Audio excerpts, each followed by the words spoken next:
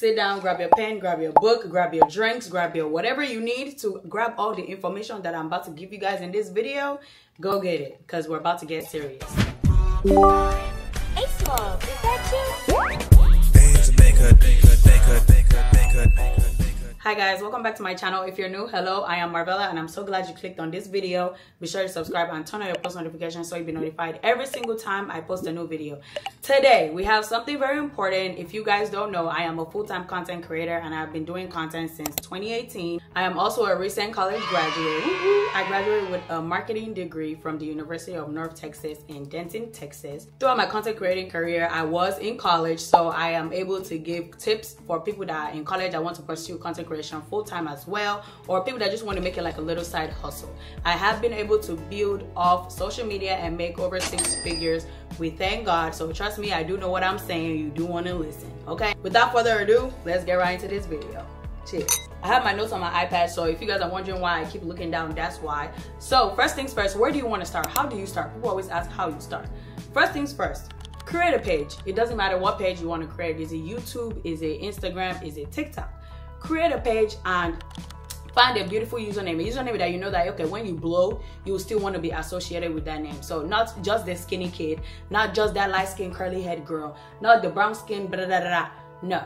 If you're gonna add the light skin or brown skin whatever to it just add your actual name so that you can actually hold weight whenever you're you know you know speaking on panels in the future nobody who who gonna say oh big booty uh this person big booty judy is coming to pro no.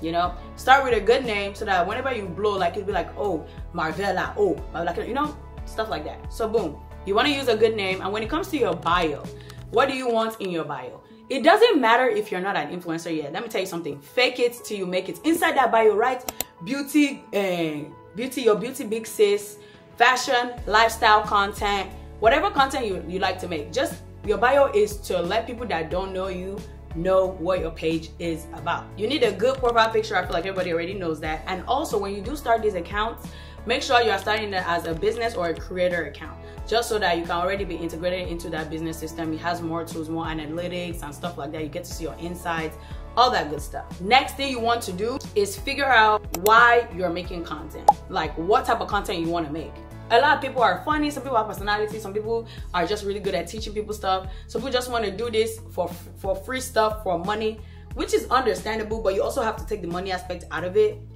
Because if you don't take the money aspect out of it how are you going to be persevering when the brand deals are now coming in. You know what I'm saying? You got to actually have a passion for this.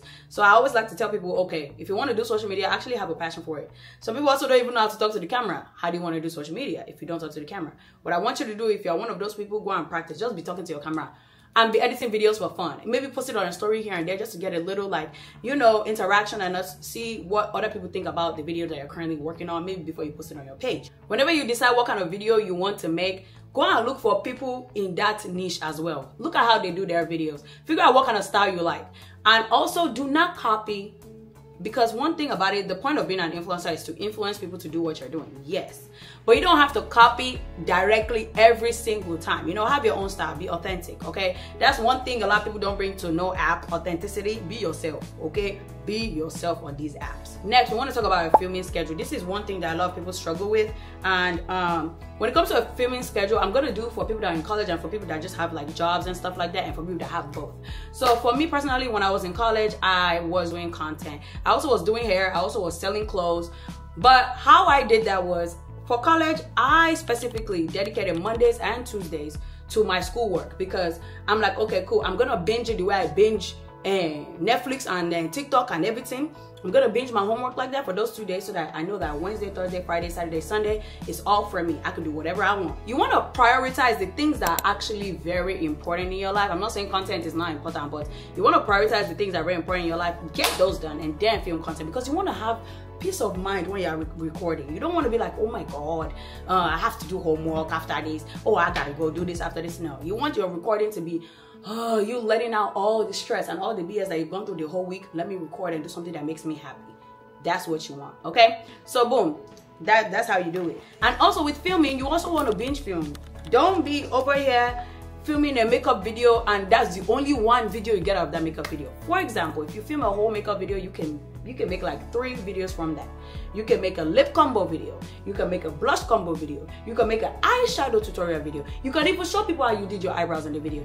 This is all in the same makeup tutorial. And then you can have the makeup tutorial all together. That is five videos that you've gotten from filming only one. Now that makeup tutorial, you can post it on TikTok and those other four little segments, you post it as your reels. We're gonna get into that right now. I post it as your reels because reels, they have a shorter attention span. And you have four reels and one TikTok already. And you can also post those on TikTok too, by the way, if you want to.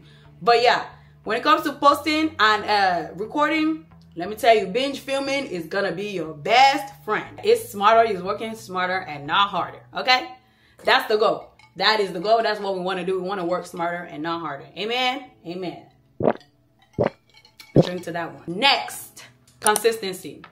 Posting consistently is something that I've gotten so good at. It's actually insane. I post every single day on every single social media platform that I have. Well, no, on Instagram and on TikTok. I try my hardest. On Instagram and on TikTok, and they usually are different content. I also post on my story every day. Like, consistency is something you can get from me, okay? Now, the trick to consistency is the reason why a lot of people find it a little hard to be consistent is because it's either one, they want to portray a lifestyle that they don't actually live on social media, two, they're actually really busy, genuinely, and they just genuinely don't know how to balance it. Understandable. So, the reason why I'm able to be consistent is because I post the life that I live. So all I do is literally have to turn on the camera. I just started doing something on my on my uh, Instagram story where I actually post edited videos on my story like so it can look more classy and all that good stuff. When I tell y'all my engagement have gone like crazy, I used to get like 8k views max. And when I tell you I get like 20,000 something views on my story now, it's crazy. So yes, posting consistently helps because it's like once somebody sees one of your videos on their For You page, it's like, okay, cool. Once they keep seeing you, it's like, oh my God, this girl actually be posting, let me follow, you know, and then they start keeping up with you and stuff like that. So it's very important. Um, and also what you want to do whenever you're posting, whenever you're posting and you have any brand that you want to work with or just any brand on regardless, tag them. When I first started, I used to make this mistake. I used to tell myself, oh, no free promo, no free promo. No, girl, you need the promo. Clock it. You need these brands to put money in your pocket because at the end of the day, it's like even if you tag this brand, people already know this brand, but you tagging them could possibly add to your pocket because they can see the video and they're like, oh my God, I really like this. We want to partner with you. So tag the brands that appear in your videos, okay? It helps with visibility. Next, let's talk about getting paid. This is exactly what everybody want to know, getting paid. How do you get paid on social media? I'm to do it app by app. So, um, I know people get paid on Twitter. I don't use Twitter as much, so I don't know. I know people get paid on Snapchat. I don't use Snapchat as much. I don't really know about that. I'm gonna talk about the ones that you can actually start getting paid from like easily TikTok and Instagram. Okay? Those are the ones I'm familiar with. Those are the ones that made me money. Hella. So let's do it. Now, on TikTok, you can make money through the Creator Fund and you can also make money through TikTok Shop. On Instagram, you can make money through monetization. I am not too sure if they still give out checks because I haven't gotten a check in a minute, but I'm gonna focus on TikTok because they're the ones that really be pushing out the money for real. Aside from YouTube when you're already made big. But y'all, I'm still I'm still trying to figure out YouTube. I can't even give no no help on YouTube because y'all see me right now. I'm struggling. So it's okay. But boom, when it comes to getting paid on TikTok, you I think I believe you need to have like 5,000 um, followers to apply for the TikTok shop. But if they're like companies that are sending you sample requests, you don't need that at all. You can just start selling on TikTok shop. So a lot of people ask like, how do you know when it's time to start charging these brands? Now, let me tell you something. One mistake I made, I started charging brands too late. Um, I I suggest that once you have, for example, let's say you're you're trying to be a wig influencer. Once you've done like four to five week collaborations, it's time to start charging. The earlier the better because that's how these the other companies know not to play with you. If there's something I could tell myself like back back then before, I would tell myself that oh start charging, ah start charging because they don't care. They have the money. They have the money. They're only willing to give it to the people that ask. Oh, drink. Somebody say clock it. Clock it. Aside from the collaborations, you yourself, you should already have posted like video concerning that niche, you know, wigs, clothes, food, whatever content creator you're trying to be, travel, whatever. So you already have those, but then you have collabs too. So you have multiple videos that if another company, let's say the sixth company reaches out to you, you're like, oh no, uh, I need to charge five five hundred dollars per video. They can go back and see, okay, she has collaborated with one, two, three, four, five, and even if she has not collab, even if they don't know that you have not collaborated with the other people that you tagged when you actually use their product organically, they're still gonna think, oh, she's been doing collabs. Okay, we were we're gonna pay her the five hundred. So that's what you want to do. Yep. Hello. The earlier the better. Okay. Now, paying for products. I get this question all the time. Oh my God, a company reached out to me. They told me to pay for shipping. They told me to pay for da da da. Don't do it. Why are you trying to help a company? You're trying to help a company improve their visibility and help them with um, advertisement, and you are going to pay for the product. That makes absolutely no sense. You're already giving them probably a free video, and then they want you to pay for the product? No, don't ever, don't you ever pay for no dang product in exchange for for free promotion. Are you crazy? No, don't please don't do it. Please don't do it. Immediately no. As long as as soon as somebody says pay, no. And even if they say refund, no, because no, no, no, no, no. Absolutely not. And this is how to politely decline. Hello, thank you very much for reaching out. I am interested, however, I am only prioritizing paid collaborations right now. Can you please share with me the budget you have available for this collaboration? Simple. Or go on ChatGPT. We're gonna we're gonna get into ChatGPT. ChatGPT is like the next big thing for creators. We're gonna get into that. Boom, social media kit. Now, this is something that I had, and um, it's very, very important, it's very useful. It's kind of like your resume. Um, kind of like a resume and a cover letter. All you need to do is literally go on canva. You can search up like different templates. It tells you like what to do. You can just put in you know your information.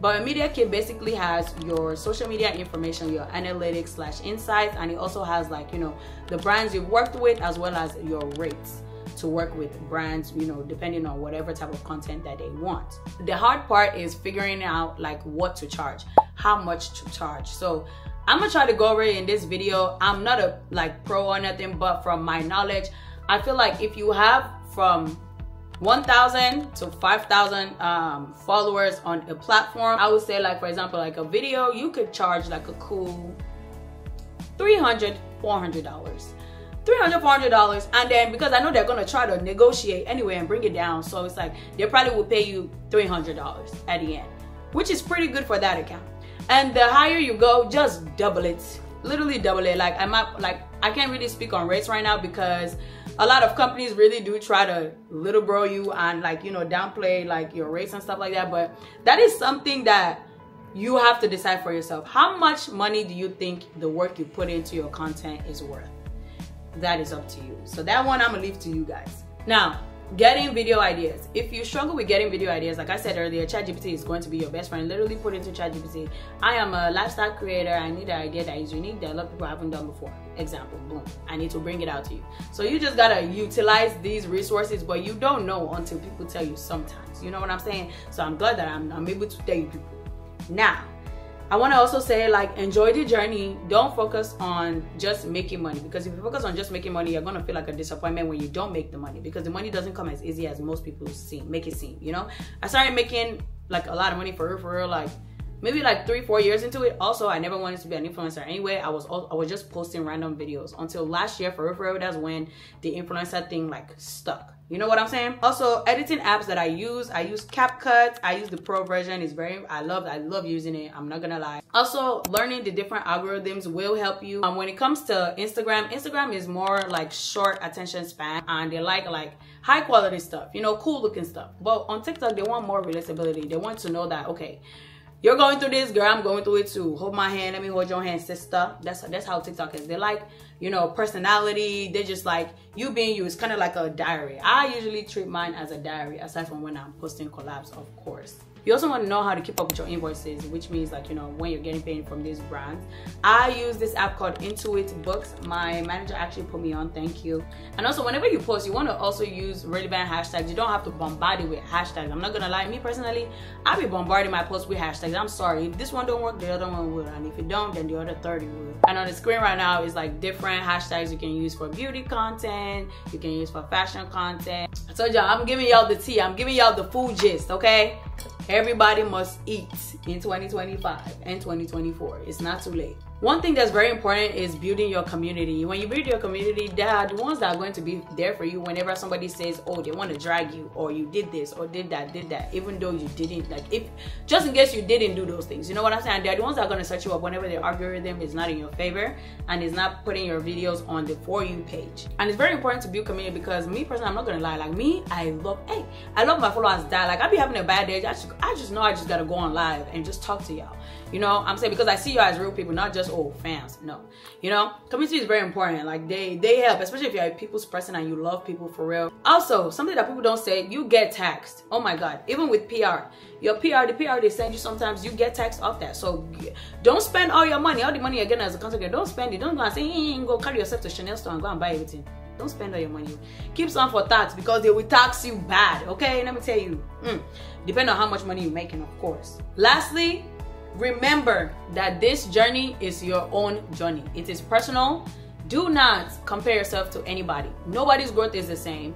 Nobody puts in the same exact amount of work. With the amount of work that I put in, you would think that I was fucking Beyonce right now. I'm currently, it's what? What time is it? It is 10:57. I'm about to go and record a gym video right now because like I'm posting on my story every day.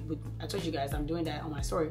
So like I promise you, if you are trying to be a content creator, it is not the easiest thing in the book, yes, but it is easy when you actually have a passion for it. And honestly, if you're hungry to learn, just just start. You know what I'm saying? Start. Don't be discouraged. Don't compare yourself to anybody because that's how um, you start feeling like you're not doing enough. Comparison is a thief of joy. Okay, enjoy the process. It's very, it's a lovely thing. Being a content creator is amazing. Learning how to edit, meeting new people, traveling. Like I'm not gonna lie, content creation has changed my life. Like from being able to live in the apartment that I live to being able to drive the car that I drive, being able to influence people that I influence, being able to have other women even know that they can do anything they want to do, bro it's amazing. It's amazing and it's a great feeling. Hopefully, one day, one of you guys watching this will also be bigger, way bigger, even than me. Um, I love you guys and I do appreciate you guys so much.